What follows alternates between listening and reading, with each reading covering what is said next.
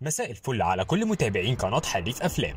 فيلم النهاردة اسمه Gallows Hill. الفيلم بيبدأ مع ديفيد اللي بيصحى من النوم وبيصور المدينة من شباك أوضته في الأوتيل. وبتصحى خطيبته لورين وبيقول لها إنه هيروح يدور على بنته جيل وإنها لو مش عاوزة تيجي معاه ممكن تستنى في الأوتيل. وفي الوقت ده بتكون جيل مع خالتها جينا اللي بتكون شغالة مذيعة في كولومبيا ومعاهم بريمون المصور اللي بيكون حبيب جيل. بيخرجوا سوا كلهم. ولما بيرجعوا الأوتيل بتلاقي جيل أبوها ديفيد وخطيبته لورين مستنيينها. أبوها بيقول لها إنهم هيمشوا النهارده من كولومبيا لأن فرحه قرب وهي لازم تبقى في البيت من أسبوع. فبتقول له جيل إنها مش عاوزة تروح معاها ومش عاوزة ترجع. بتقول لها لورين إنها عاوزاها تبقى موجودة معاهم ومش هينفع تعمل الفرح من غيرها وبيصمم أبوها إنه ياخدها دلوقتي. فبتقول له جيل إن الباسبور بتاعها مش هنا وإنه في ميديشي. بيتدخل ريمون وبيقول له إن ما بينهم وبين ميديشي دي 8 ساعات. فبيقول ديفيد إنهم هيروحوا ويجيبوه ويسافروا بيركبوا العربية وبتسوق بيهم جينا. بيكون ديفيد متضايق من وجود ريمون مع بنته وبتقول له جينا إنهم عاملين زيه هو وأخته مارسيلا وإنه محتاج يدي بنته مساحة من الحرية شوية لأنها كبرت. بس ديفيد بيقول لها إنه عاوز يخلي باله من بنته ويحميها ومش عاوزها تخلف بدري زيه هو وأمها. بيوقفهم شرطي في الطريق وبيقول لهم إن المطرة وقفت الطريق اللي هما ماشيين فيه وفيه فيضانات فلازم يروحوا من طريق تاني. بس بعد ما بيمشي الظابط بتقول لهم جينا إن الراجل ده مش بيفهم حاجة. أنا من هنا وبقول لكم الطريق ده كويس وهنوصل بسرعة. وبتقنعهم يكملوا في الطريق وبيمشوا. بيعدي وقت طويل ومش بيوصلوا. فبتقول لها لورين أنت مش قلتي إننا قريبين؟ بس بتيجي موجة من الفيضان وبتغرق العربية وبتغرز. ديفيد بيحاول يطلعهم بس بتيجي موجة تانية وبتتقلب العربية. ولكن بيطلعوا كلهم بسلام. بس لورين بتتصاب وبيقدر ديفيد يطلعها وبيقول لهم بريمون إن في بيت قريب ممكن نروح نخبط عليهم عشان يساعدونا. وفعلا بيروحوا هناك وبيفضلوا يخبطوا على الباب.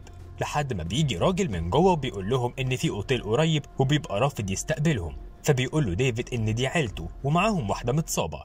بيشوف الراجل جيل بنت ديفيد وبيوافق إنه يدخلهم. بيقعدوا عنده وبيفضل يعاملهم بطريقة وحشة. بيعرفوا ديفيد بيهم والراجل بيقول له إن اسمه فيليب. بيتكلم أسباني فبتترجم جيل كلامه ليهم. بتطلب لورين ميه وبتروح معاه جيل عشان يجيبوا الميه من المطبخ. وفي المطبخ بيشوف فيليب السلسلة اللي جيل لابساها فبيقول لها إن الصليب مش هيحميها. بتخرج جيل وهي حاسة إن الراجل ده غريب جدا وبتحكي لريمون على اللي قاله. بيسألوا ديفيد لو في حطب عشان يولعوا الدفاية. فبيقول له فيليب إن هو بس يجي معاه وكلهم يفضلوا مكانهم ومحدش يتحرك من هنا. اول ما بيخرجوا بيقوموا كلهم يدوروا في البيت وبيكتشفوا إن البيت ده كان أوتيل قبل كده بس محدش نزل فيه من 1978 وبيلاقوا خط التليفون مقطوع. بتقول لهم جيل إنها عاوزة تروح الحمام وبتكون لورين خايفه عليها. فبتقول لها جينا إن مفيش حاجة تخوف وبيروح ريمون معاها. وبيكون البيت شكله غريب ومهجور. ولما بتدخل جيل الحمام بتسمع صوت حد بيصرخ من تحت الأرض وبيطلب المساعدة. فبتخرج بسرعة لريمون وبتقول له إن في واحدة محبوسة هنا. بتدخله الحمام وبتسمعه الصوت اللي جاي وبتقول له إنهم لازم يدوروا عليها. وفي الوقت ده بتكون جينا قاعدة مع لورين عشان تاخد بالها منها. بيجي فيليب وبيتضايق إنهم ما سمعوش كلامه واتحركوا. وبيروح يدور على جيل ومحدش فاهم هو متضايق ليه. بتحس بيه جيل جاي فبتستخبى هي وريمون. وبتلاقيه فتح باب في الأرض بينزل على البدروم. بتستنى أول ما يمشي وبتخرج هي وريمون وبينزلوا البدروم. وبيلاقوا صندوق كبير تحته حاجات كتير. وبيكتشفوا إن فيليب كان عايش تحت البدروم. بتلاقي جيل بنت صغيرة هناك بيحاولوا يطلعوها. بس بيجي فيليب وراهم ومعاه بندقية. وبيجي ديفيد من وراه بيضربه وبيقع. بتقول له جيل إن في بنت صغيرة محبوسة في الصندوق. بيفتح ديفيد الصندوق فبيلاقوا طفلة صغيرة قوي. بيخرجوها وبياخدوا فيليب وبيكتفوه. بيفضل فيليب يقول لديفيد كلام كتير بالأسباني وهو مش فاهمه. بتترجم جيل كلامه إنه بيقول عيلتك كلها هتموت ومش هيقدروا يهربوا. وبتقول لهم البنت اسمها أنا ماريا. ولما بتسألها لورين عن أمها بتكون البنت مش قادرة تتكلم. بيفضلوا يطمنوها إنهم هينقذوها منه. وبتاخد جينا تليفونها وبتروح تصور البيت والمكان اللي كانت محبوسة فيه أنا ماريا. وبتقوم لورين علشان تشوف أي حاجة للبنت تاكلها. بتروح المطبخ ولما بترجع بتلاقيها مش موجودة. بتفضل تدور عليها في البيت كله. وبتطلع فوق بتلاقي أوضة أطفال. بتدخل تدور عليها بتبص لورين في المراية فبتلاقي أنا ماريا وراها. بس لما بتلف مش بتلاقيها. وبتكون أنا ماريا في الوقت ده مع فيليب بيترجاها إنها تسيبهم في حالهم. فبتقول له إن الناس دول موجودين هنا علشان يحموني منك. وبتقول له تفتكر مين أقوى؟ ريمون ولا ديفيد؟ وفي الوقت ده بيكون ريمون بيشوف العربية بتاعت فيليب لو شغالة عشان ياخدوها ويمشوا. وبترجع أنا ماريا الصالة وبتكون جيل قاعدة معاها. بتفضل البنت تحط ايديها عليها وتقول لها إن جسمها قوي فبتتضايق جيل وبتمنعها. بيدخل ديفيد وبيقول لهم إن ريمون بيشوف عربية فيليب وهيمشوا من هنا بسرعة. وبتيجي جينا وبتفضل تصور أنا ماريا بتليفونها وبتسألها عن فيليب لكن البنت مش بتجاوب فبتزعق لها لورين وبتقول لها تراعي حالة البنت. بيدخل ريمون وبيقول لهم إن العربية بتاعت فيليب بايظة خالص ومفيش أمل منها. وبيجي فيليب ومعاه سكينة عشان يقتل بيها البنت لكن بيلحقه ريمون وبيضرب عليه نار وبيموت. وبيلاقي ديفيد إن فيليب كان قاطع شرايينه قبل ما يقتله ريمون وبتكون أنا ماريا فرحانة إن فيليب مات.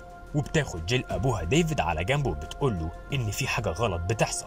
إزاي البنت دي كانت عايشة والصندوق باين عليه إنه مقفول من سنين. في الوقت ده بتكون جينا في المطبخ بتجيب تلج لورين بتلف وراها بتلاقي أنا ماريا ماسكة تليفونها. وبتقول لها إن هي كمان عاوزة تصورها وتسألها أسئلة. وبتسألها أنا ماريا عن مديرها تريفور. بتستغرب جينا إنها عرفت عنه وافتكرت إن ريمون هو اللي قال لها.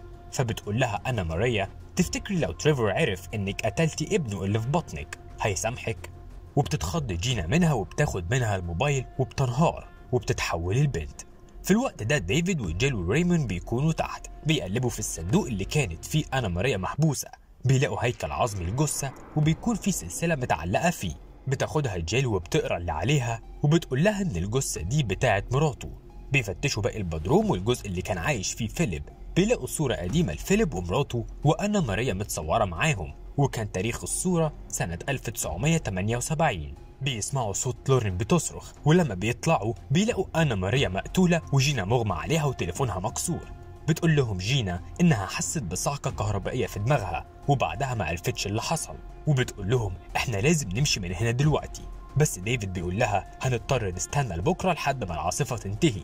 بس هي بتبقى مصممة. بتقول جيل إن جينا عندها حق وإن كل حاجة هنا غريبة من أول فيليب اللي كان بيحذرهم وقال لها إن الصليب بتاعها مش هيحميها لحد الصورة اللي هم لقوها سوا. وإن لو فيليب شرير ليه هيقفل على بنت صغيرة عادية بكل الأقفال دي؟ وبتسألهم لورين صورة إيه. لما بتشوفها بتقول لهم إنه مستحيل ده يكون حقيقي. وبتاخد جينا تليفون ريمون وبتقول له إنها هتحاول تكلم أي حد. وبتخرج بره وبيخرج ريمون معاها. وبتقول جيل لديفيد إنها شافت حد واقف بره ولما بيخرج بيلاقي الظابط اللي شافهم على الطريق. بيفضل الظابط يزعق له وبيسأله عن فيليب.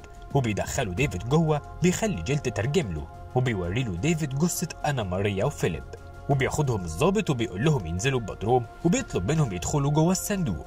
وبيقدر ديفيد ياخد منه مسدس وهو بيحاول يدخله جوه الصندوق. وبيقول له الظابط إنه بيعمل كده عشان يحميه هو وعيلته وإن أنا ماريا ما كانتش طفلة وإنها ملعونة. والحقيقة إن في ساحرة ساكنة جسمها وإن اللي بيقتلها بتستخدم جسمه وبتلبسه فما ينفعش تقتلها. وكمان بتستخدم أسرار الناس وبتستدرجهم بيها لحد ما بتقتلهم. وكمان في حد من عيلته مبقاش منهم. بيسألوا مين اللي كان مع أنا ماريا لما ماتت. فبيقول له لورين وجينا هما اللي كانوا موجودين. بيوري له علامة في ورقة وبيقول له إنها هتعلم في جسم الساحرة. فبيطلع وبيجربها على لورين بس ما بتطلعش هي. وبتكون جينا هي اللي بقت الساحرة دلوقتي. بيروحوا يدوروا عليها وبتكون جينا بتتحرش بريمون. وبتقول له إنها عارفة إن فيليب مش أول واحد هو يقتله وانه بيستدرج البنات وبيقتلهم وبيحشي جسمهم بالمخدرات. بتبوسه جينا وأول ما بتبوسه بيبدأ ريمون يرجع دم وبيكون هيموت فبيقتلها وبيحاول يهرب بس بتكون الساحرة سيطرت عليه. وفي الوقت ده بيكون ديفيد وجيل بيدوروا في حاجات فيليب. بتقول له جيل إنه زمان كان في مجموعة من القسس الأسبان جابوا الساحرة دي هنا على مشنقة وقتلوها وبيكون في أسامي موجودة في نوتة. وبيلاقوا فيها اسم موراليس الضابط. وفي الوقت ده بيمنع موراليس ريمون إنه يهرب وبيرجع البيت وبيكون ديفيد مش عاوز يرجعه بيقولوا ان جده كان من الأسس اللي قتلوها لأنها قتلت أبوه. وبيدخل ديفيد وبيقول له موراليس إنها عاوزة تنتقم من اللي عملوا فيها كده وإنهم مجرد عقبة في طريقها. وبيقول له خد عربيتي واهربوا أنتوا. ولما بيمشوا بيهجم عليهم ريمون بس لورين بتكلبشه في العربية وبتقع العربية في البحيرة. بس ديفيد بيروح ينقذه عشان ما يلبسش حد تاني. ولما بيطلع لورين بتقتله فبيلبسها وبيربطها ديفيد وبيرجع بيها البيت. بيقول له موراليس إنه هيقتلها علشان تاخد جسمه وهم يهربوا لأن جسم لورين ضعيف وبياخد ديفيد جيل وبيستخبوا بس بتظهر لورين وبتقول له إنها عاوزة جسمه وبتقتل موراليس. بيستخبى منها ديفيد وجيل في البدروم عشان يحبسوها. بس لما بتنزل تحت بيتغير شكلها وبتتحول لمارسيلا مراته القديمة. ولما بيقدر يدخلها ديفيد الصندوق بتهجم عليه وبتنقذه جيل وبتقتلها. فبتدخل هي الصندوق قبل ما تتحول وبتقول له يقفل عليها. وبيكون ديفيد مش قادر لحد ما بتبدأ تتحول فبيحبسها جوه وبيفضل قاعد بره حزين. وبيقرر إنه ما يمشيش ويدور على حل ينقذ بيه بنته من غير ما يموتها. وبكده يكون الفيلم خلص. لو عجبك الفيديو ما تنساش تدوس لايك وتشترك في القناة وتفعل جرس الصفحة عشان يوصلك كل فيديوهاتنا الجديدة.